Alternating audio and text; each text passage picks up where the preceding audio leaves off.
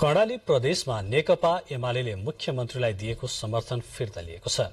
नेकपा एमालेबाट प्रदेश सरकारमा सहभागी तीनजना मन्त्रीहरूको हिजो सामूहिक राजीनामा आएपछि एमाले समर्थन फिर्ता लिएको हो। केन्द्रीय समीकरण अनुसार प्रदेश सरकारमा नेपाली कांग्रेस सहभागी हुने अवस्था देखिएपछि प्रदेश सरकारको नेतृत्व कसले गर्ने भन्ने विषयमा सत्तारूढ़ गठबन्धनमा छलफल चलेको छ।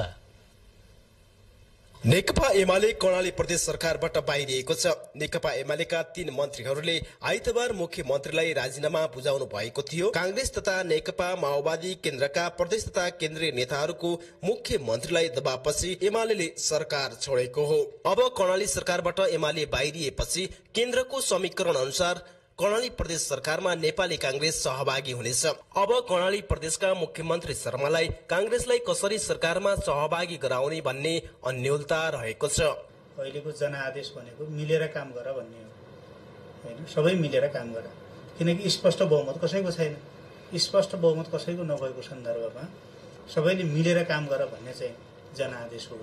कांग्रेस नेता जीवन बहादुर शाहीलाई मुख्यमन्त्री बनाउने विगतका नेताहरूको आश्वासनले मुख्यमन्त्री कांग्रेसकै हुनुपर्ने कांग्रेसका नेताहरूको अडान रहेको छ भने नेकपा माओवादी केन्द्रले आफ्नै नेतृत्वको सरकार हुनुपर्ने अडान लिएको छ। अब आलो पालो गर्न तयार छ छैन भन्ने कुरा होइन। माथिबाट बसेर जुन अब हाम्रो आफ्नो नीति अनुसार प्रदेशको कुराबाट गर्ने भइदिएको भए एक खालको हुन्थ्यो होला।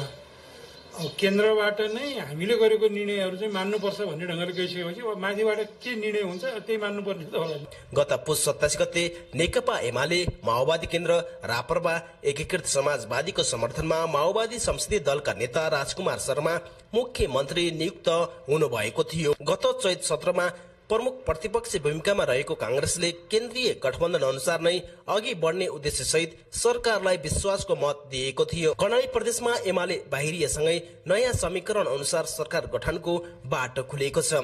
नेपाल टेलिभिजनका लागि मान बहादुर ओली कर्णाली प्रदेश सुर्खेत।